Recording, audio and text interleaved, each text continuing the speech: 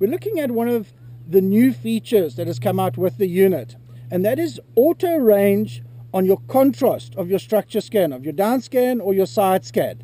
Let's have a look at that. Let's select a page that we can use here. If you look at your your down scan here, in the past you'd, you'd have to range this between 65 or 75% to, to get the, the perfect contrast. But you'll notice now you don't have those values. You have auto contrast on, I mean off or on. And when auto is on, it doesn't mean you don't have control over it anymore. Even with auto on, you can now either increase or decrease your contrast to just where you like it and then leave it. The unit will now automatically adjust that value as you move into deeper or shallower water. That's an amazing feature.